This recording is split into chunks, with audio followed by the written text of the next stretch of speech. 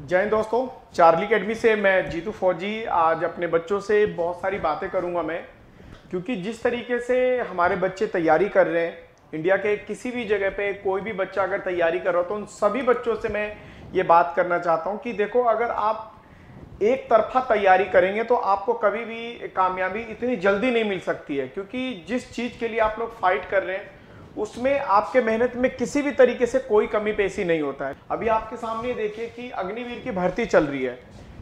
ग्यारह हज़ार बच्चे दौड़ाए हैं और उसमें से सिर्फ़ 300 बच्चे पास किए हैं और उस 300 में से लगभग 210 बच्चों को मेडिकल अनफिट कर दिया है। तो मैं फाइनली अपने बच्चों से ये बोलना चाहता हूँ, हमेशा मैं अपने यूट्यूब चैनल पे, अपनी अकेडमी के भी बच्चों को बोलता हूँ कि आप लोग जैसे आर्मी में फाइट करना चाहते हैं आर्मी में भर्ती देखना चाहते हैं, वो अच्छी बात है।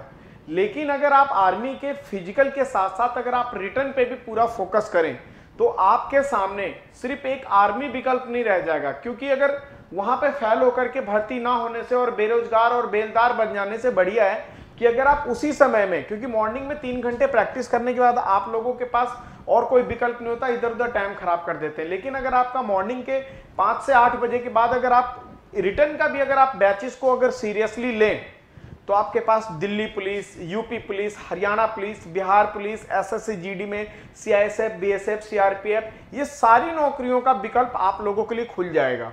सिंथेटिक की मेरी प्रैक्टिस ही ना अच्छा अच्छा। बच्चे कह रहे थे मेरे को सिंथेटिक के ग्राउंड के प्रैक्टिस नहीं थी।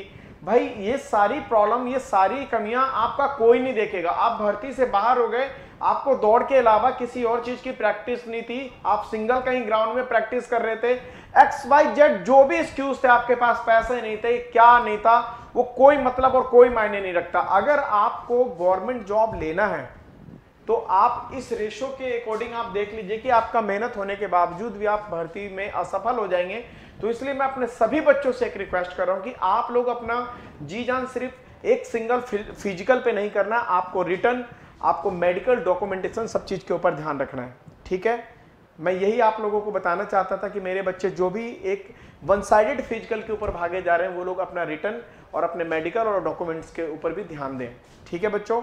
और बाकी मैं भगवान से प्रे करूँगा कि जो भी बच्चे मेडिकल में अभी थोड़ा सा फंसे हुए हैं, उन बच्चों का मेडिकल क्लियर हो और जिन बच्चों का भी फ़िज़िकल बचा हुआ है वो बच्चे फ़िज़िकल में अपना क्वालिफाई करें और जिन बच्चों का फ़िज़िकल और मेडिकल दोनों हो गया है, वो अपना अच्छा से बढ़िया तरीके से रिटर्न की तैयारी करें। मेरी एकेडमी में भी रिटर्न की तैयारी पावर बैच में चलना शुरू हो चुका है। मैं पिछले टेस्ट ले रहा था, मैं उसका वीडियो भी पीछे मैंने आपको दिया है तो उन सब चीज़ों में भी आप देख सकते हैं। और मैं हमेशा आप लोगों के भर्ती के लिए, आप लोगों के जितने भी डाउट्स उसको मैं क्लियर करता रहूँगा और आपके साथ रहूँगा। जय हिंद।